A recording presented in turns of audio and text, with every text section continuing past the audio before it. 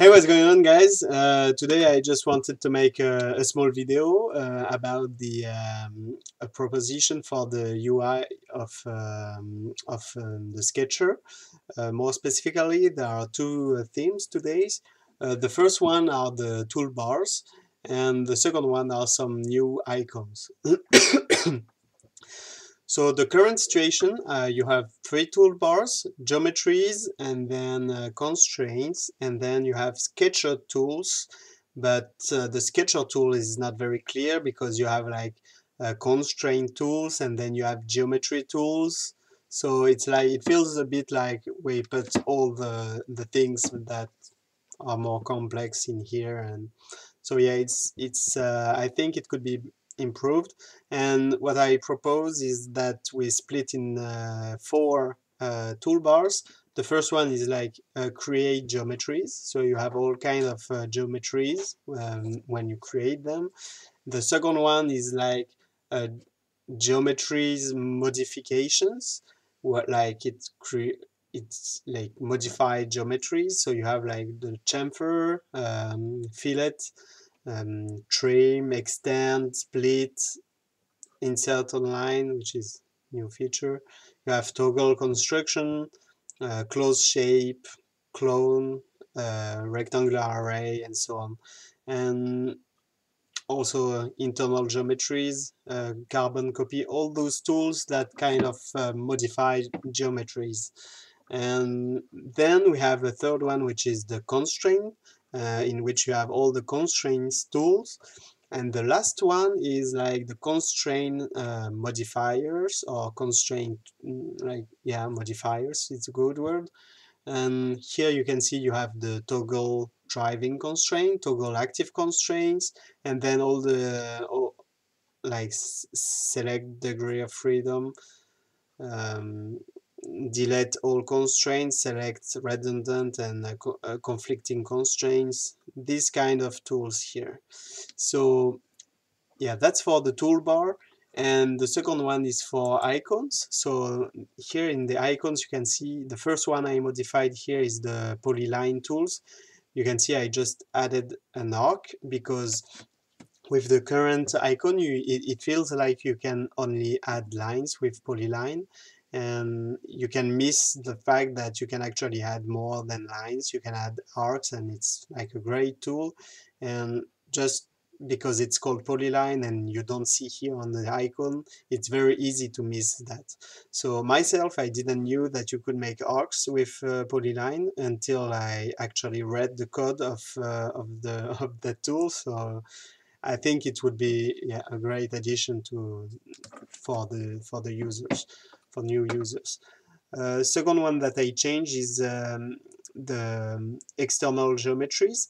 Uh, here it's a very small modification, but it's just the line here was not using the same style as the uh, other icons from the geometry uh, toolset and it was a bit small to read so the idea is just to make it a little bit bigger and to use the same style as the others uh, and then we have these three icons, the three toggle icons. You have toggle construction, toggle driving, toggle active, and here you see you have no like it's not really uh, uniform. The toggle function is not like conceptualized by something, and moreover you have the constraint toggles which use rectangles. So I, I think it's a bit misleading, and these icons they just look all the same and it, they also look the same with um, carbon copy and it's very easy to mistake them.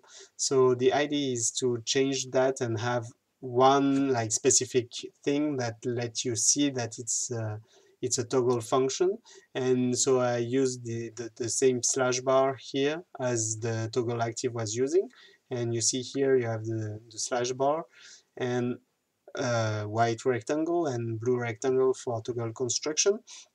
So um, also here it was not using the same style for the rectangles. You can see the, the rectangle is not the same style and here it was in dashes and I'm not sure it's very clear. So here it's using the same styles as uh, as the other geometry tools. And uh, and for the constraints the idea is to use uh, instead of rectangles to use actual constraints icons. So and red on one side blue on the other and the same icons for both toggles but just not the same colors.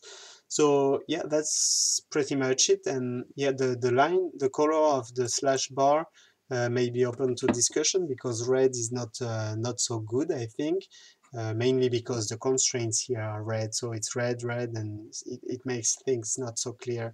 So I'd like to use another colors another color and I posted a few uh, options here. So um, you can go on the forum and have a look. And yeah uh, that's also something I wanted to say. If you like this uh, new ID for the tool sets please go on the forum. The links will be down in the description of the video and, uh, and leave a comment about it. Uh, say if you like it, if you don't like it, if you think the, the color of the slash bar should be something else. Uh, it's very important because currently like mm, almost no one posted, there's just one person who posted.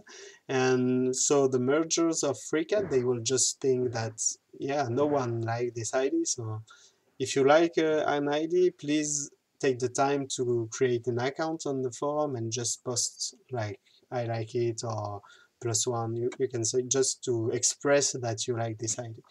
And uh, well, that's pretty much it for today. And if you uh, also one thing that uh, I'd like to mention is that uh, some people ask me uh, to if I had a Patreon account, and I think it's actually a good idea. So I created one, and uh, if you want to support my work on the Sketcher and you like the features I'm developing, consider um, subscribing there and supporting me because basically the more income I can get from uh, developing uh, FreeCAD, the more time I can spend uh, developing on FreeCAD basically. So yeah, that's uh, that's about it. So thanks for watching and I hope you enjoyed it.